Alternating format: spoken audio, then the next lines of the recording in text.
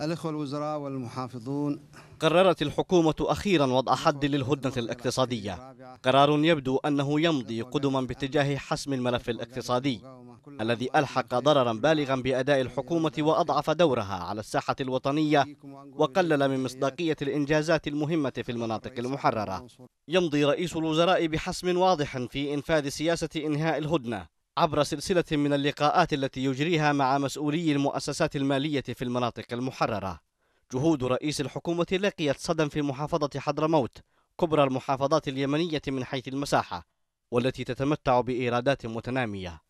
لكن التوجيهات الأخيرة لمحافظ المحافظة عكست على ما يبدو حالة من عدم الاتساق مع توجهات الحكومة ما دفع بوزير المالية إلى إبطال توجيه للمحافظ للمكاتب التنفيذية والخدمية والمالية في حضرموت. بتوريد الأموال إلى حساب خاص بالمحافظة في البنك الأهلي بالمكلا ينظر المراقبون بقدر كبير من الأمل إلى الخطوة الحكومية التي ستقلص من حجم الموارد المالية التي تتدفق إلى البنك المركزي في صنعاء وتوفر دخلا يتم إنفاقه على المجهود الحربي وعلى المغامرة الانقلابية. محققا تفوقا نوعيا للانقلابيين يعود إلى تفردهم بإدارة المالية العامة وبالهيمنة على أهم قطاع سيادي في الدولة. تحديات كثيرة لا تزال تقف أمام خطط الحكومة للسيطرة على الموارد المالية والبدء في جني ثمار خطوة إنهاء الهدنة الاقتصادية وتأمين الاحتياجات الأساسية للتشغيل واستمرار قطاع الخدمات في العمل لصالح مواطني المحافظات المحررة.